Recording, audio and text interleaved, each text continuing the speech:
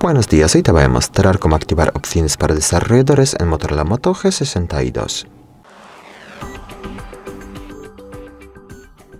Para empezar abrimos la aplicación Ajustes y luego aquí más abajo abrimos la pestaña Acerca del teléfono y aquí eh, buscamos la última información, número de compilación y la pulsamos varias veces hasta que aparezca, bueno, esta información y después de eso volvemos a Ajustes y en ajustes buscamos la penúltima pestaña sistema, la abrimos y aquí podemos ver las opciones de desarrollo.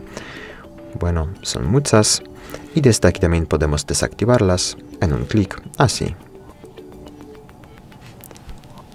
Muchas gracias por ver el vídeo, te invito a comentar abajo y suscribirte al canal. Hasta luego.